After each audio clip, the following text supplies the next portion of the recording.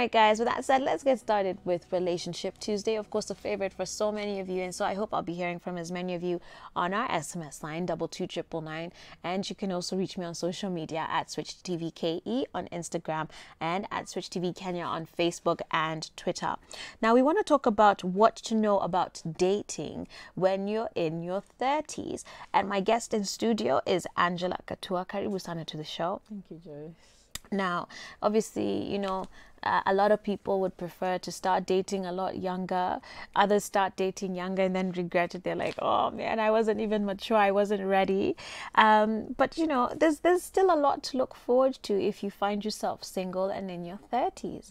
It's just that we've made it like if you hit 30 and you're not married, like all of a sudden, like your life is not, you know, that valuable. But that is so not true. Okay, you can still live your life and live it well, even when you're single in your 30s. So we want to go through a couple tips, right, that we could share with our audience. And if you guys have any specific ones that you want to share with us as well, you can on double two triple nine. So the first tip talk to us about knowing what you want you know because sometimes i feel like when we're in our 20s like we almost just want everything. We want him to be an athlete matter we want him to be president we want him to be good looking we don't care what you know we just have we're all over the place with it. But um you know when we're in our 30s i think a lot more people now have sort of narrowed down a bit more would you say? How important is it to know exactly what you want or what you're looking for Well, uh, for many people, dating starts at 20, uh, 20s, in that uh, maybe mid 20s, the right kind of dating. But uh, most most of the people that we are having nowadays are even now getting serious into dating when they are in their 30s. And um, the reason is is because uh, maybe I think people have probably uh, discovered that when you're younger, you're not able to make the right decisions. And now all that uh, comes uh, brings me to your question: What are the things that they need to look at, to look into? And I believe that uh, you need to first look into yourself, know who you are before you can even look for a soulmate. And uh, th- it's very unfortunate. Many people look for other souls before they even find their own, which is an unfortunate situation for most of us. Yeah. And so, you know, our parents' generation would talk a lot about courting, right? Um, and nowadays, I think maybe they're either used interchangeably or maybe they shouldn't be. But when we talk about dating, what exactly does that mean? Because that, that word carries a lot of weight. When we are in our 30s, dating is not just for fun alone, it should have a goal. And most of this, the times, you know, at 30s, when you want to settle down, you're looking at the future. You're not just looking at the fun. Right. So uh, it's important to just be aware that I, too much. I like we're, we're trying to we're trying to figure out if this thing's gonna work. uh-huh, it's, it's not just about the the fun. It's not about just being there or having someone in your life. Yeah. This someone ha- needs to have a significance in your life. Mm-hmm. So you need to be sure whether this person is the right one. And now you're mature enough to even uh, identify uh, the the person and identify them clearly because now you're a bit mature, Yeah. mature, and you understand uh, what dating is all about. Okay, so dating here we're talking about dating with a goal, you know, Yes. Towards a long-term relationship. Right. Okay. So second tip is about letting go of the past. Now, um, for most in most cases, people who are 30 right now and maybe are single perhaps have been through a previous relationship Yeah. and have had to deal with some form of heartbreak Mm-hmm. um, from the past. But it could be cheating, it could even be death um, that caused that relationship to end. Yeah. You know, how do we learn to let things go and embrace things anew? Because some of those guys, I know people who've been in very long relationships when they're in their 20s and they're really struggling in their 30s now to move on because they keep re- reminiscing on, on what they had for five years, six years, seven years with someone. Yeah. Um, but then, in a sense, it's also holding them back. Well, when I was coming on my way, someone, a lady reached out to me and she told me that uh, she's been dating, she, she, she had a relationship 12, 12 years ago. And up to now, she has never moved on because of hmm. the heartache. Hmm. And now that is what you're talking about. People don't want, don't let go very fast about uh, the past. Hmm. But we need to learn that we are not living in the past. We are living for now, as in we are living now mm-hmm. for the future. Right. So you have to have a, a, a at least a vision of where you're going, and mm-hmm. when you have a vision, then you will make your today.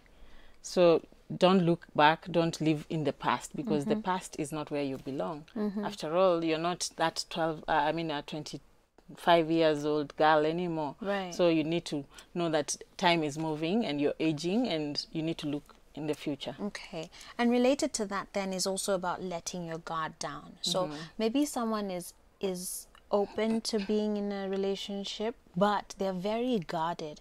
And you know, you can't do a successful relationship when you're not giving of yourself, when you're not open. Yeah. Um, and so for those who have been really, really hurt in the past and have had, you know, unsuccessful relationships, there's this ka defense. Yani unakuja una nika mbwa kali, jichunge ukiingia huku, you know what I yeah, mean?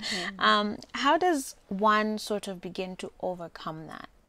You have to learn to be vulnerable hmm. because life is a risk. Even waking up in the morning, put your first foot down is a risk. You don't know whether it's going to break or not. Mm-hmm. Getting into a matatu or into your car to drive wherever you're going mm. is a risk. You don't know whether the other driver will come and hit you or whatever happens. So, because life is a risk and everything we do is a risk, you have to just be vulnerable. And that's part of what makes love so beautiful, isn't Yeah, it? yeah. This person, like you, you never know what, but it's a choice. That's why it's a choice. It's not just a feeling. and they say that the bigger the risk, the bigger the, the bigger the benefit. I don't know how true that is when it comes to relationships, but uh, I think it has some weight when you talk about being vulnerable. Yeah, you have being to vulnerable, accept not at risk for people. date date a weird person, Yeah, no, no. a crazy person with like no values or whatnot. Not that way. Yeah. But as far as being vulnerable, Yeah. you know, you give to receive in a relationship. And- Absolutely. yeah, and even when you're 30 and above, you're a better judge of character. So That's true. even w- with that vulnerability, you know that you can judge the character that you want. yeah. Yeah.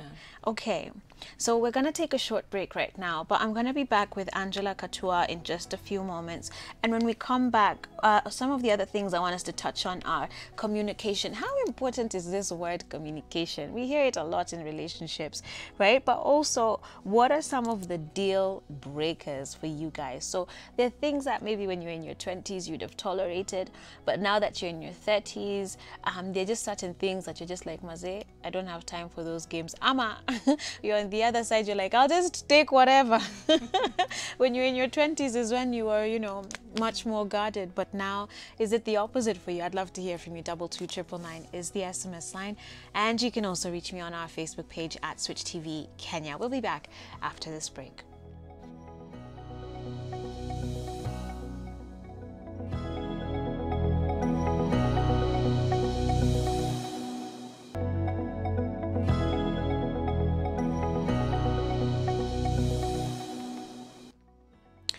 All right, everybody, welcome back to Full Circle with Joyce. Thank you again for your company.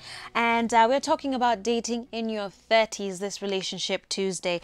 Let me read some feedback here. Irene Kendi says, At 30, someone should be serious when dating.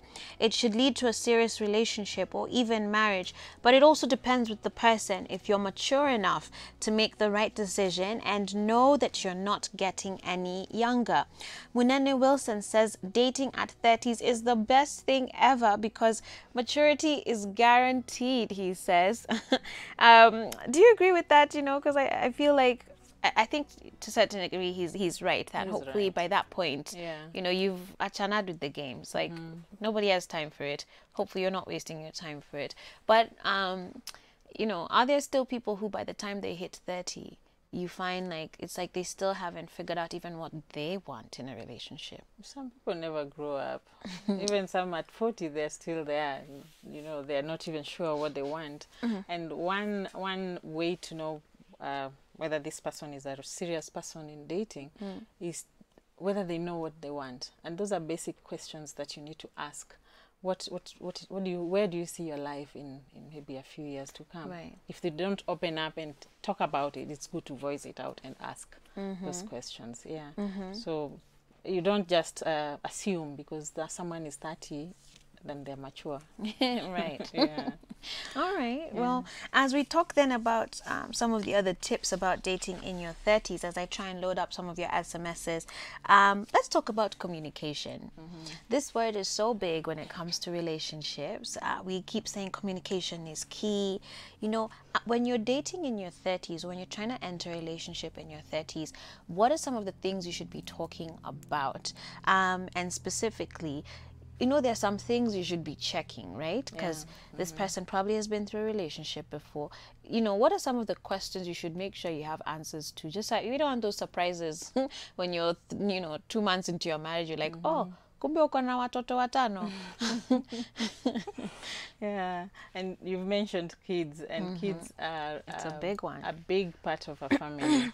so I think it's very important to know whether this person really wants kids or not.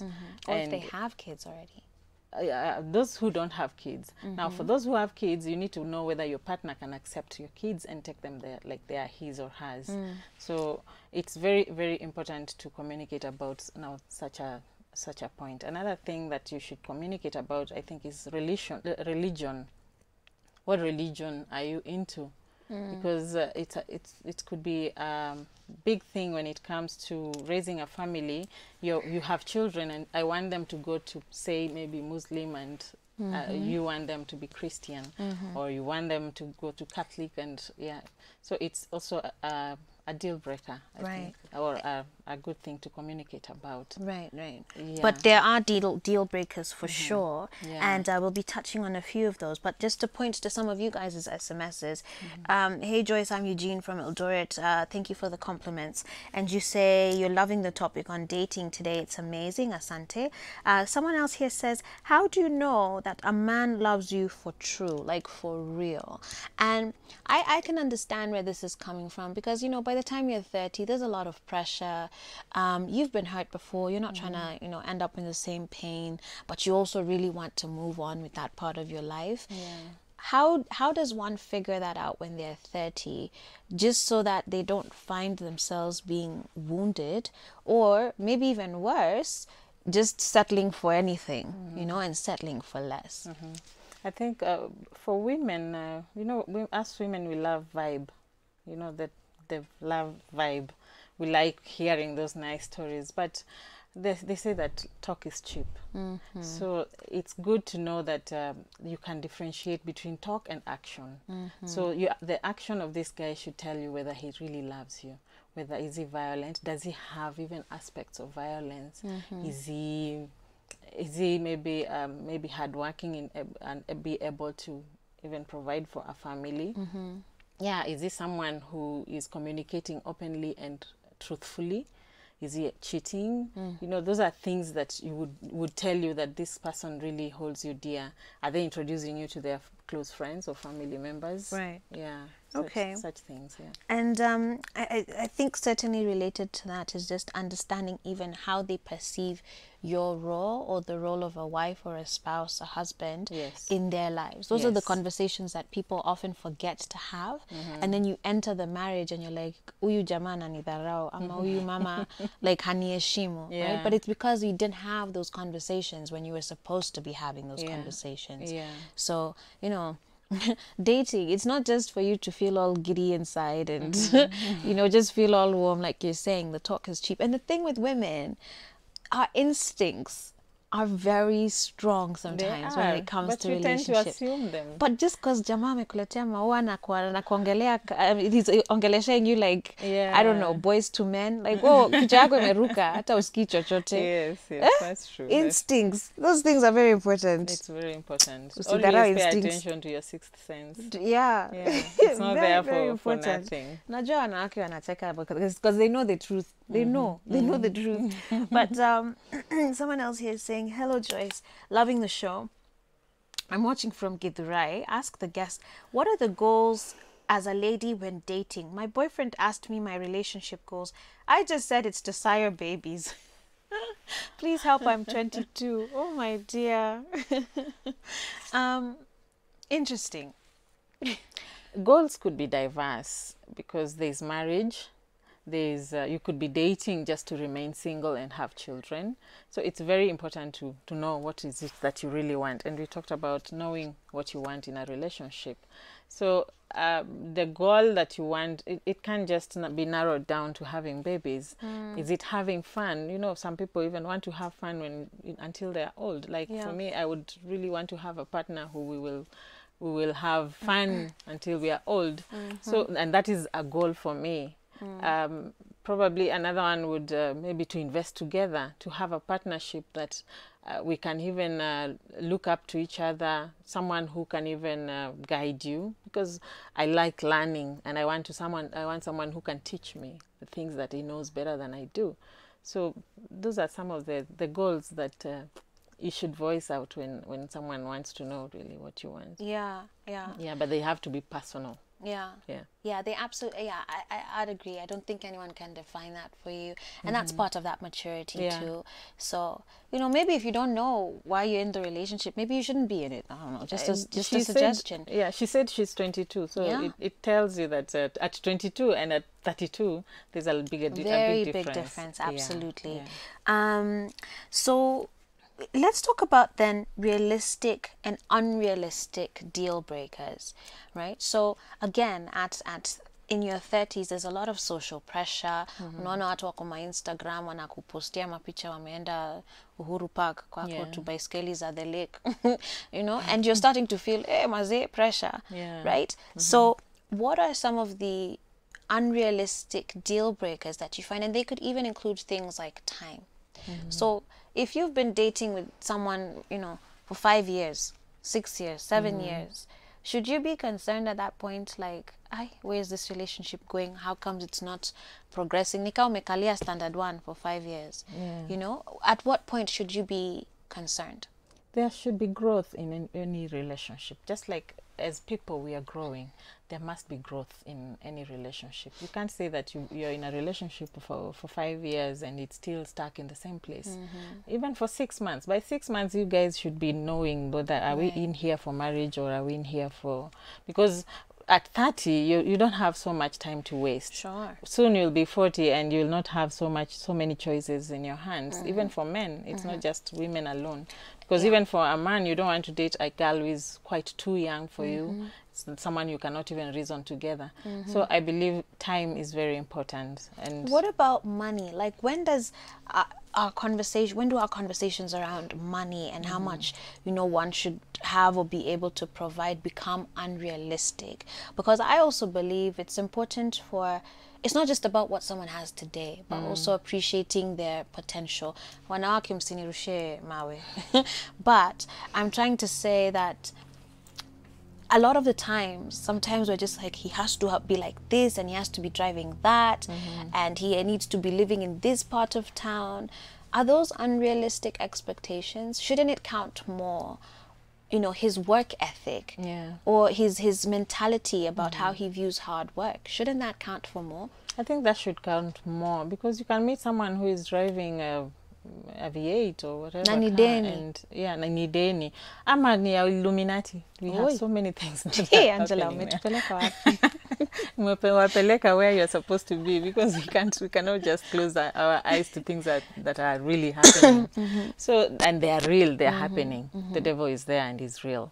So um, those are things that are existing and sometimes we look at the glamour of what is happening out there instead of looking at the person what Yeah. are his values? Yeah. Well, how how uh, how does he view hard work? Like you say how does he view himself maybe probably in the next five years? What are his goals in life? Right. Those are the things we need to, to look at. Money is good yes and it is very important yes. But are you building it in the right way? Has it taken stages to build? Yeah because you know even at 30 it, it would even raise eyebrows for someone to to be owning so many properties and you should question these things yeah Absolutely. Another question here on SMS. Hey Joyce, I'm Esther. My boyfriend is 30 years old and had Jawai date anyone else before. When I asked him the reason, aliniambia he was busy with school, then later got a job. Then he realized that time has moved on. Then we met and started dating. So, um, again, I guess her point here is you never really know the reasons as to why someone is, is single to the point that they're in today, Mm-hmm. yeah. right? Um, and I guess that a certain grace should be applied. and uh, as much as we need to, le- to leave our past to our lives our past lives behind Mm. we also need to leave our our partners lives past lives behind Mm. we shouldn't be digging so much into it -hmm. and many times people feel coerced to give answers and they end up even giving the wrong answers or what you want to hear Mm. so it's good to let people to speak out about their past when they are ready Right. because that is the time they will be open and, and truthful. Sure. Yeah. On Facebook, Evans Kurui says at 30s, the relationship is serious and matured compared to that of 20s. The problem is that when a breakup comes through, it makes one never heal or, uh, or to search for a soulmate. So I guess, you know, obviously a breakup at that age is a lot harder. Becky Stevens says at 30, some people feel desperate without knowing that God's time is always the best. I'll advise those at 30s who are not in a serious relationship to trust God and to know that delay is not denial. And that's a great point, uh, Becky Stevens from Mlolongo. And that's something I tell a lot of people. You know what? It's better to wait and do it right than to rush and then you find yourself in all sorts of issues. But I know that's also easier said than done. Mm-hmm. And so as we close, you know, what sort of advice or encouragement would you give to those who are in their 30s right now, not in a relationship, really wanting to be one, and then there's all this pressure from family, friends, social media. You know, as we close, what would you tell that person as far as, you know, what to do? It's good to own what you want to have. And first of all, be who you want to get. You know, like attracts like. So if you want, you have your qualities of a man or a woman that you're looking for.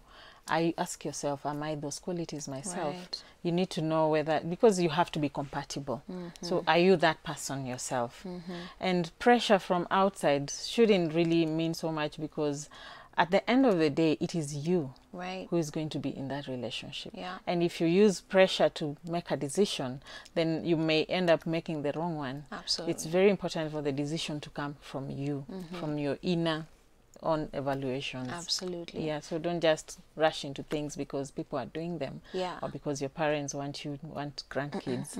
yeah. And remember to enjoy the season that you're in. right? Yes. So enjoy your singlehood because that's going to change when you get married. be happy Like, before you meet Life someone. changes, my friend. Let me Yeah. tell you. So enjoy the season that you're in. Yeah. Build yourself. All you people who are out there saying you need someone to complete you, no. Mm-hmm. Be a complete person yourself. And so that even the sort of caliber of a person that would walk into your life can match up to who you've become. Yeah. So stop putting your life on hold because you're waiting on this guy or this woman to come around into your life. You can be anything you want to be. That is And you'd be shocked at how attractive that is when you see someone who is strong and confident in who they mm-hmm. are and are willing to push forward. So enjoy your singleness while you have it. Mm-hmm, mm-hmm. um, your time will come. So, yeah. you know. Nev- no one can ever make you happy. Absolutely. You have to make yourself happy. And you, you'll even have a better relationship when you're happy first. Exactly. Before you meet that person. Exactly. So dig into your where you get your own happiness what makes you happy what makes you tick Yeah. you know what values makes make you even move forward Yeah. yeah so embrace yourself and figure out who you are first before you get to All right. who your next person Thank is. you, Angela, for coming through to Full Circle with Joyce and um, for this conversation. Hopefully, a number of you are encouraged this morning. Cheers to you if you're in your 30s and you're single. Let me know. Double two triple nine is the SMS line. Uh, enjoy the season that you're in. With that said, we're going to take a break now as we get ready for our third and final segment for the day. And uh, today, we're going to be discussing heaven on earth marriages. Of course we hear a lot of things about marriage. Oh oh oh nini nini. Is it possible to have a heaven on earth marriage today? That's what we're going to be talking about with my next guest. Stay tuned. This is full circle with joyce